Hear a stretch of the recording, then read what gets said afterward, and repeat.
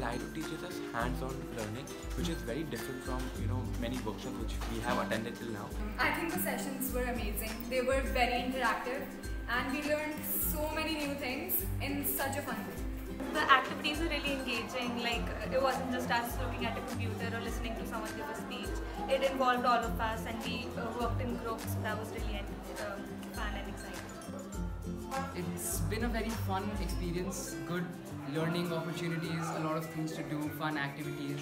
It's an effective way of making students uh, understand uh, the importance of creativity and um, it really helps you overcome your fear of public speaking also.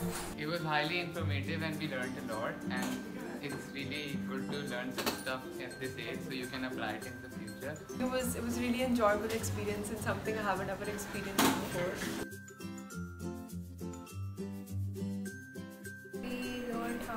Think logically and critically in many situations. We also learned how to adapt in different situations, and uh, we also somewhere or the other learned how to communicate with other people with different opinions and uh, with different viewpoints on many matters. So according with the modules and the activities, we learned how to you know frame better arguments Yeah. and get to know how uh, how to find the source, the correct source for a particular article or anything.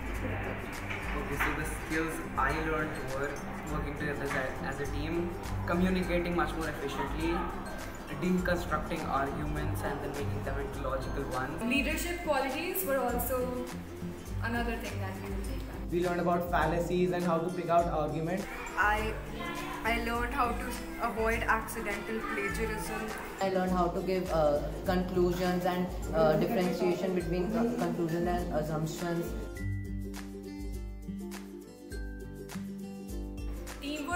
Leadership skills, they will take you anywhere you want and they will be as helpful in school as outside and when we'll be giving job interviews or in college even. Decision making, analytical thinking. We, we, uh, we can use all of these in projects that we do around school. real life experience of how uh, some decisions have to be made in a very quick action and how they can lead to your win or defeat. Communication and critical thinking can also take us interact with different people and when we present our viewpoints they will sound more logical and uh, with great communication skills we can actually cater to many kind of people. School, I can use logical thinking or deconstructing arguments and making argument work to do my project. Team building is efficiently needed even when you go to the work sphere. Uh, team building is something which is emphasized on. That's how you become a leader.